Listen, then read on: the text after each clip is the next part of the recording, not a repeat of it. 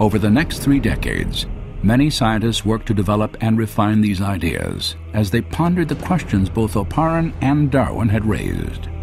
How could life have evolved from simple chemicals? One man thought he knew. The problem of biological origins has, for a very long time, I would say, has been a real deep interest to me just because of the scale of the problem, the importance of it. Uh, where did we come from? Uh, what are, why are we here? Uh, all that kind of uh, question. Uh, probed from the point of view of natural science. During the late 1960s and throughout the 70s and early 80s, Dean Kenyon was one of the leading chemical evolutionary theorists in the world and like others in his field, he was trying to explain how life on Earth began through a purely natural process. In 1969, Kenyon co authored an important book on the origin of life. Gary Steinman and myself thought that uh, if we were to pull together um, in uh, all of the uh, lines of empirical uh, evidence that had accumulated by the uh, mid to late 60s uh, in one continuous argument, we were very enthusiastic about the possibilities uh, for explaining uh, the origin of the main life building elements. Despite his optimism, Kenyon faced a significant problem. To explain how life began, he first had to account for the origin of the essential building blocks of every cell that has existed on Earth large complex molecules called proteins. Proteins have a wide range of function in the cell, everything from structural requirements in terms of scaffolding of the cell, the cytoskeleton, to enzymes, where they're actually processing molecules to harvest energy or to build components of the cell. Proteins do pretty much all of the jobs inside of the cell, except for storing genetic information. That's left to the DNA, the RNA. But all the day to day jobs, cleaning up the cell, making energy, it's all proteins. Kenyon knew that proteins would have been as important to the first life as they are to living cells today. He also recognized the complexity of their construction. By the 1960s, scientists had determined that even simple cells are made of thousands of different types of proteins.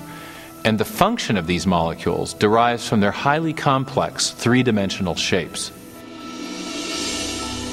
The irregular shapes of some proteins allow them to catalyze or trigger chemical reactions because of the hand and glove fit that they have with other molecules in the cell. While other protein molecules form interlocking structural components. The individual parts of a bacterial motor, like this ring structure, are each made of either a single protein molecule or an assembly of proteins fitted together into a specific shape. These proteins are, in turn, made of smaller chemical units called amino acids that are linked together in long chains. There is a very great degree of intricacy of architecture down in the uh, cell units in these protein forming amino acids. In nature, 20 different types of amino acids are used to construct protein chains. Biologists have compared them to the 26 letters of the English alphabet. Alphabetic letters can be arranged in a huge number of possible combinations, and it's the sequential arrangement of the letters that determines whether you have meaningful words and sentences. If the letters are arranged correctly, you'll get meaningful text. But if they're not arranged correctly, you'll get gibberish. And the same principle applies for amino acids and proteins. There are at least 30,000 distinct types of proteins, each made of a different combination of the same 20 amino acids. They are arranged, like letters, to form chains, often hundreds of units long. If the amino acids are sequenced correctly, then the chain will fold into a functioning protein. Proteins are arranged with their amino acids in such a way that the amino acids collapse on each other into an architecture that is pre-programmed by the order of the amino acids. It folds into a certain structure, and that structure can do a certain function. So, all proteins in the cell have a certain three dimensional pattern that's based on the arrangement of amino acids in the chain. This arrangement is critical. For if the amino acids are incorrectly sequenced, a useless chain forms, and instead of folding into a protein, it will be destroyed in the cell. Proteins, like written languages or computer codes, have a high degree of specificity. The function of the whole depends upon the precise arrangement of the individual parts. But what produces the precise sequencing of amino acids that gives rise to the specific shapes and functions of proteins? During the 1950s and 60s, discoveries about protein structure forced biologists to confront this mystery. Dean Kenyon believed he could solve it. In his book Biochemical Predestination, Kenyon and his co author Gary Steinman proposed an intriguing theory. Kenyon wrote Life might have been biochemically predestined by the properties of attraction that exist between its chemical parts, particularly between amino acids in proteins. At the time that biochemical predestination came out, I and my uh, co author were totally convinced that we had the scientific explanation for origins. Kenyon proposed that the chemical properties of the amino acids caused them to be attracted to each other, forming the long chains that became the first proteins, the most important components in the living cell. And this meant that life was effectively inevitable, predestined by nothing more than chemistry. Many scientists embraced Kenyon's ideas, and over the next 20 years, Biochemical Predestination became a best selling text on the theory of chemical evolution. Yet, five years after the book's publication, Kenyon quietly began to doubt the plausibility of his own theory. It was during that whole period of time that my doubts about certain aspects of the evolutionary account became apparent. When coming into contact with a powerful counter argument given to me by one of my students, and I could not refute that counter argument. Kenyon was challenged to explain how the first proteins could have been assembled without the help of genetic instructions. In living cells today, chains of amino acids are not formed directly by forces of attraction between their parts, the scenario Kenyon envisioned on the early Earth. Instead, another large molecule within the cell stores instructions for sequencing the amino acids in proteins. It is called DNA. Initially, Kenyon believed that proteins could have formed directly from amino acids without any DNA assembly instructions. And, and that's why so many scientists were excited about his theory. But the more he and others learned about the properties of amino acids and proteins, the more he began to doubt that proteins could self assemble without DNA. In DNA, Kenyon encountered a molecule with a property he could not explain through natural processes. For locked securely within its double helix structure is a wealth of information in the form of precisely sequenced chemicals that scientists represent with the letters A, C, T, and G. In a written language, information is communicated by a precise arrangement of letters. In the same way, the instructions necessary to assemble amino acids into proteins are conveyed by the sequences of chemicals arranged along the spine of the DNA.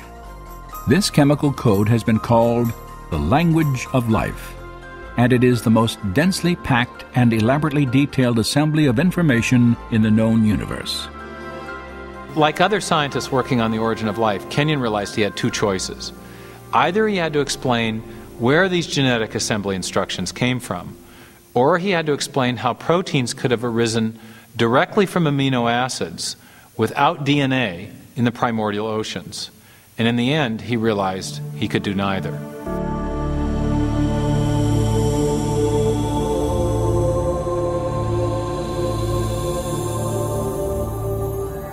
It's an enormous problem how you could get together in one tiny submicroscopic volume of the primitive ocean all of the uh, hundreds of different molecular components you would need in order for a self-replicating cycle to be established.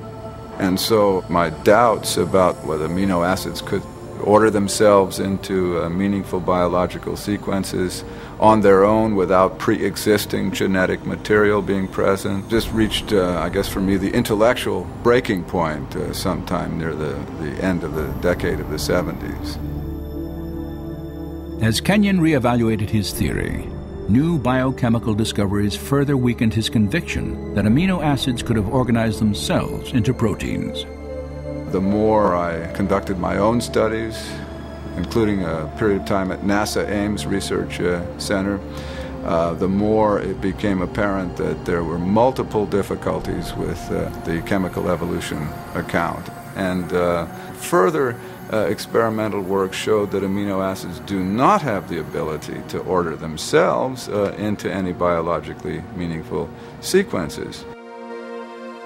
Faced with mounting difficulties in his own theory and a growing body of scientific data about the importance of DNA, Kenyon was forced to confront the absolute necessity of genetic information.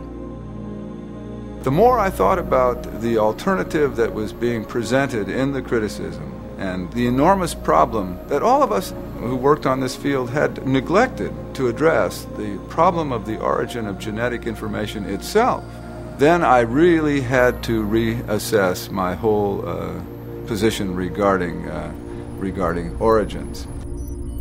For Dean Kenyon, a new question became the focus of his search for life's origin. What was the source of the biological information in DNA? If one could get at the origin of the uh, messages, the encoded messages within the living machinery, then you would really be on to something far more intellectually satisfying than this chemical evolution theory. Yet Kenyon realized that he faced a narrowing set of options. By the 1970s, most researchers had rejected the idea that the information necessary to build the first cell originated by chance alone.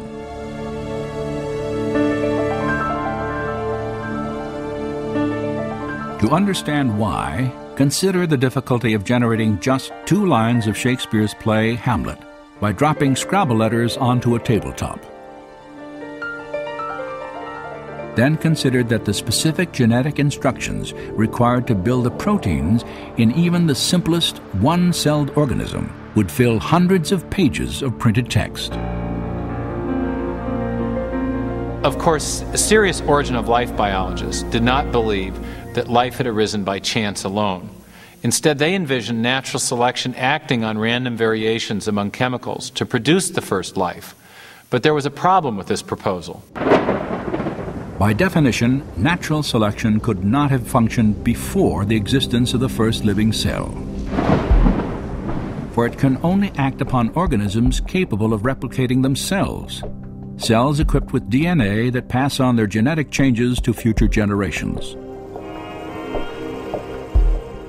Without DNA, there is no self replication. But without self replication, there is no natural selection. So you can't use natural selection to explain the origin of DNA without assuming the existence of the very thing you're trying to explain. Chance, natural selection, and his own theory of self organization had all failed to explain the origin of genetic information. Now Kenyon saw only one alternative.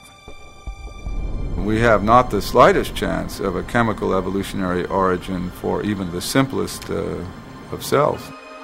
So the concept of the intelligent design of life was immensely attractive to me and made a great deal of sense as it very closely matched the multiple discoveries in molecular biology. In the years since Kenyon's rejection of chemical evolution, science has revealed the details of an entire system of information processing that bears the hallmarks of intelligent design.